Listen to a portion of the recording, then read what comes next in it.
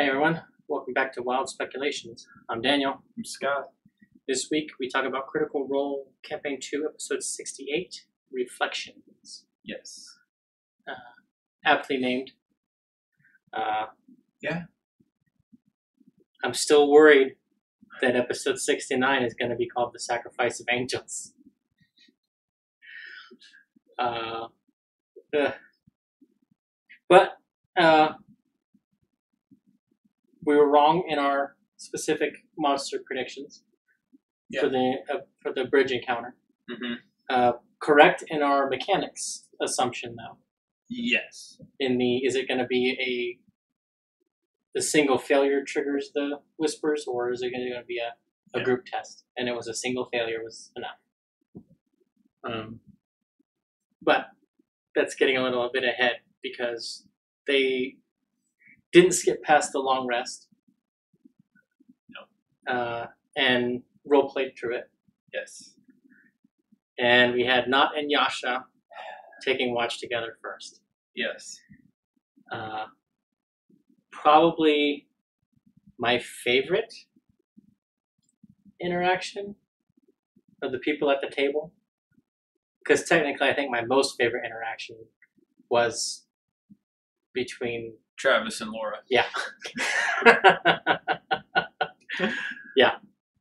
Um, Um,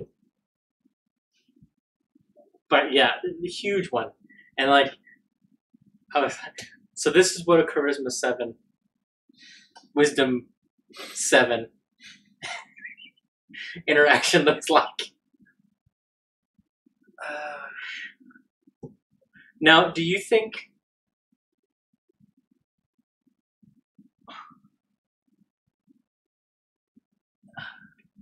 Do you think Sam went into that thinking about not exposing Caleb's secret? No. Okay. I- I don't either. I think Sam said it forgetting that It's in not character law, yeah. Yasha didn't know. Yeah. Um, I think that this whole conversation started kind of to just rib Laura, knowing that she was watching at home and oh, I'm gonna check her stuff, you know. Um, Yeah. and it just kind of took a downhill turn quickly. I can I buy that. I can definitely see Sam doing that. Um, I think that, yeah, I don't know. I think I think their interactions, their relationship, is one of the ones I'm most excited to see unfold. Um, because at this point, it's still a lot of player knowing it's the other player interaction. Because when you think about it, Nott has attacked Yasha twice in combat has accused her of stealing multiple times, has accused her of being a spy, a murderer, all these evil things. And she's just like, yeah, yeah, okay, whatever, yeah. okay." It's like, at some point, she just couldn't, got a in. you know? Uh, yeah, maybe. Um, you know, she's Nott has never been accepting, fully accepting of Yasha. Yeah. She's always throwing shade at her for leaving when Ashley was gone, going in and out. Always accusing her of being a spy, of being evil, of wanting to kill them, of threatening her, of, you know, um, Do you think that is Sam putting what he fears not son feels about that? It could be. Um, the question would be why does he why does he not see Yasha as the mother figure then? Well, she's never been Why- why- particularly. Why does she choose Yasha to put that on? Because Yasha's the only one of them that comes and goes. Okay. She's the only one that leaves. And when Molly was there, Molly sort of ran interference because everyone in the beginning was like, "Hey, what's up with this?" Yeah, When in IRL, that's just what they had to do to accommodate Ashley's filming schedule. right.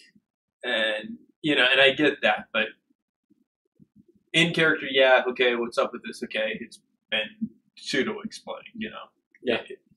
But Nott Sam never let up on it. Yeah. And never let it go and always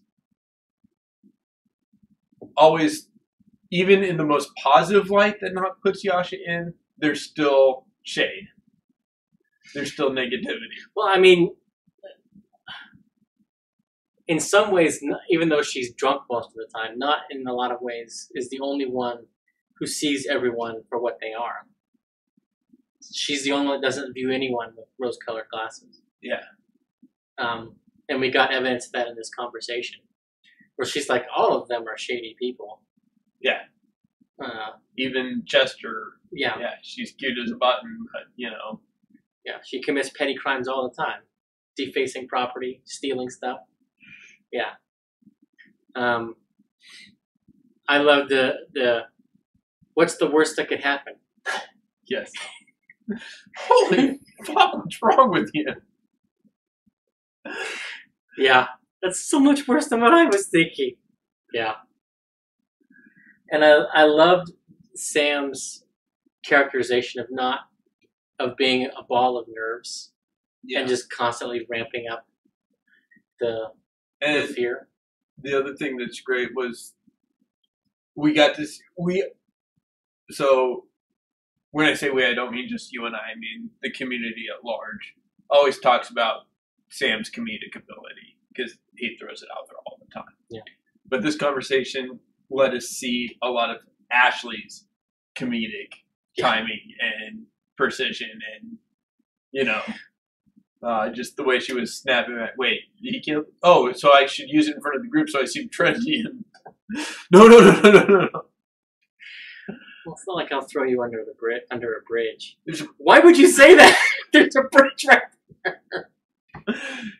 and lo and behold who went under the bridge Yeah, th- this is another one of those episodes where it's like the conspiracy theorists can say they write all this stuff, man.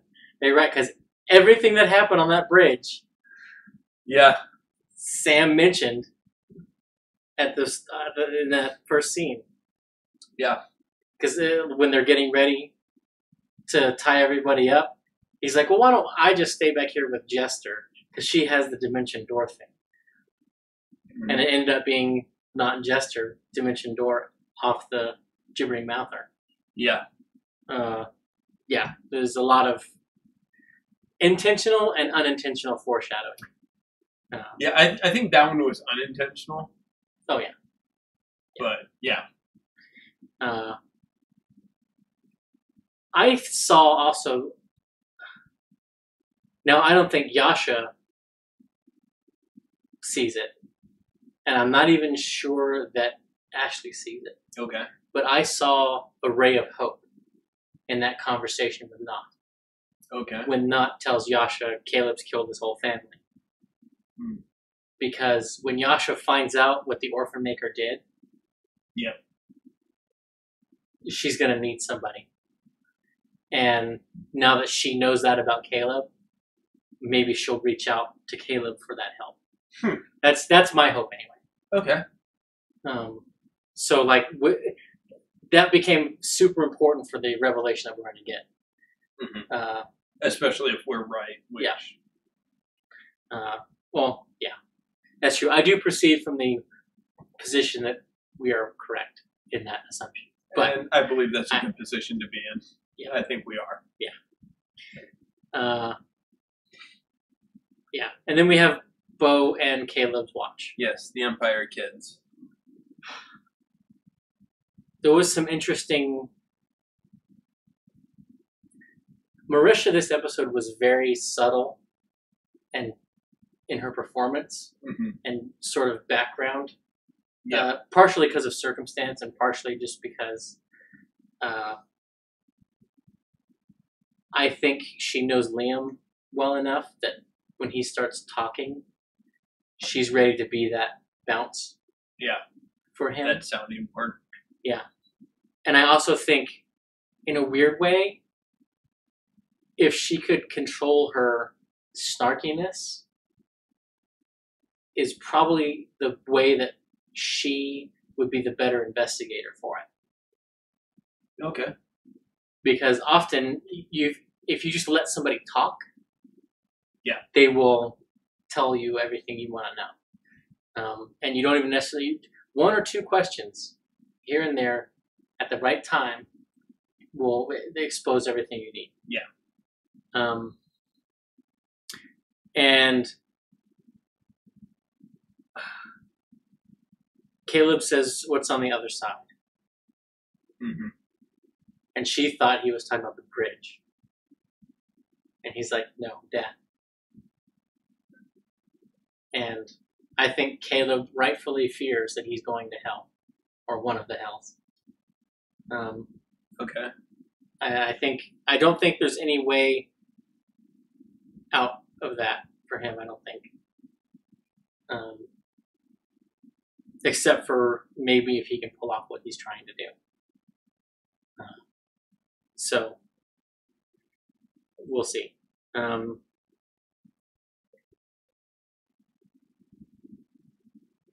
Beau said that she is also looking at hell. Yeah. Uh, or she thinks she and and some I don't think Beau really believes it, Yeah. but I think she's trying to comfort Caleb in some way that she can, and say, yeah, if you're going, I'm probably going too. Well, But I think Beau's hell is not the nine hells. Beau's hell is having to be a librarian in Ioun's library. Like, uh, um, I, I I'm not sure. I, I I don't think being in the library is as bad as Beau makes it out to be for herself.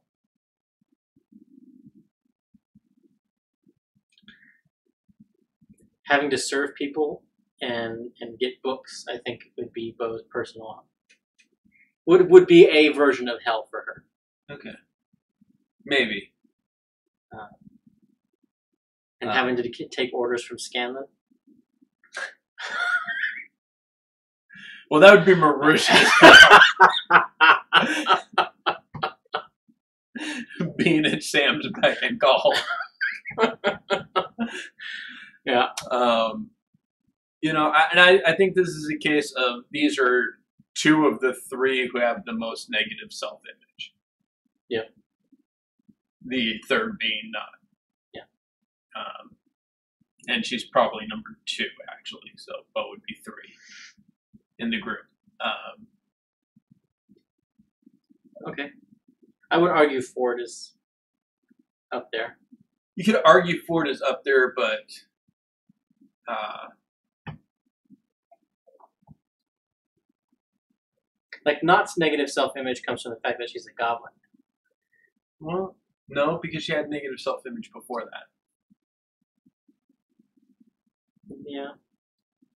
That's true. Nott big problem why it's so pressing on her is that now she outwardly resembles what she felt like she was inside. That's fair. Um, Fjord, on the other hand, is he's more on the way out of that in the reinventing himself process. Uh, which is why he's like, I, I like this. I don't want to go back to that. I'm happy with who I, you know, I like who I am now. I buy that a little bit. Um, But he's got a he's got a a day of reckoning coming. Yes, and I still think there's that Fjord is a lot shadier than you think he is.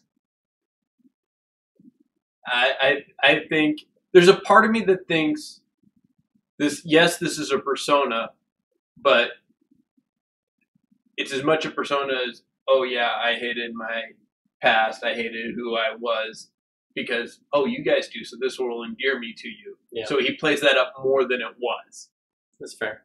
Um, because i still think sorry travis you're great but Fjord is a shady son of a bitch and he's up to no good Yeah.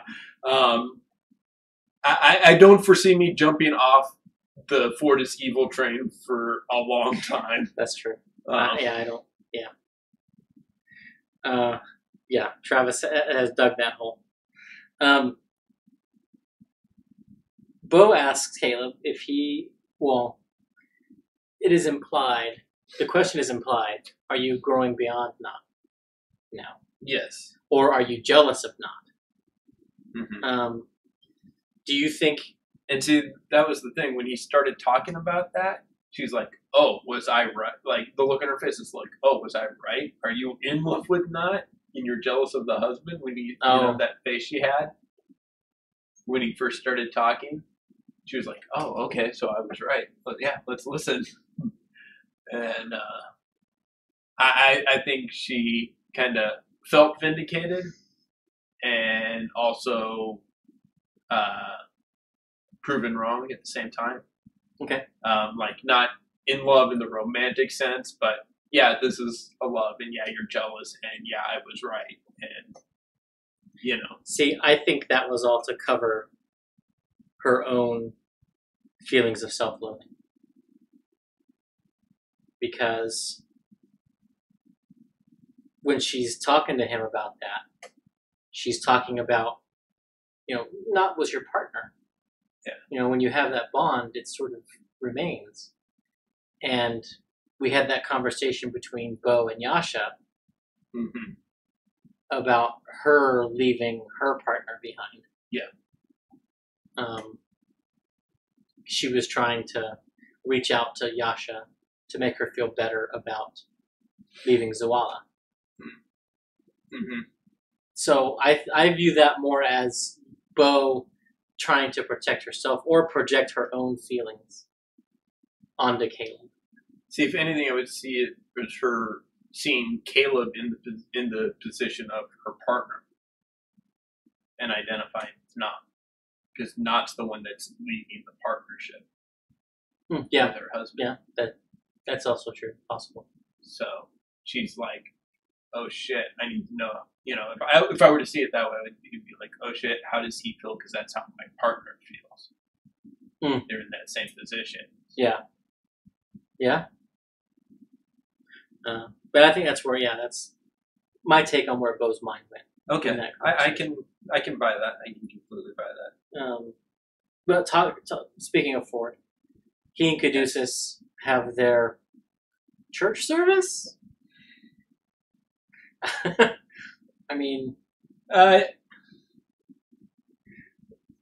for lack of a better thing, uh, and they, more meeting with a missionary proselytization than in church service. fair. Uh, but we have, you know, they they talk about the terror that they are experiencing and within versus the wild mother. Yeah. Um, that they are where they need to be, and Fjord comments, "You're smiling though," and Caduce is like, "Well, yeah." Yeah. And I've been binge watching My Hero Academia, my daughter, Okay. and that is basically central to All Might. Uh, this the symbol of peace, the Superman of this universe. Okay. Uh, he always smiles when he's saving people, no matter what's going on, Gotcha. no matter how big, how bad the fight is. He's he's smiling, Gotcha. and he Okay. tells the the young hero, up and coming hero, he's like, "Yeah, it's more scary for the bad guys if you smile." Yeah, into that. And see, the thing that I love about this, the two things I love about their conversation is one, the beginning. You scared? Yeah, good. You should be. This is terrifying. Oh shit! Now it's even worse. Yes, yes. Um, both both green people seek out friends seek out you know that comfort from friends and neither get it back just makes it worse um, and then, so several episodes ago now, Caduceus made the comment that he was an open book. You know that. Yeah, I've got nothing. You know, I've got nothing. To, how many siblings did you? Have? Yeah, I have some. Maybe you'll meet. You know, totally evasive, shutting off, and it's just like, Taliesin, I love you. i have a theory about that Okay. and the theory is he has done little but name them, and maybe not even that. Okay. Um, I have a feeling that he has one to three siblings that precede him by so many years that they left on their quest before he was born. Mhm. So he does not actually know them. He merely knows of them. Uh, because Firbolgs are long lived. Yes. Um, so, you know, having a first family, raising them up, sending them out, and then having a second family is definitely possible. Yeah. Um, and potentially a third family, depending on how early you start and how. late you go. Yeah. Uh, so I. There's also the possibility that even though in his stories he refers to these people as his siblings, some of them may not have actually been his siblings. Yeah. Uh, they may have been spirits. Mm-hmm. They may have been adopted people, uh, orphans that the family adopt picked up.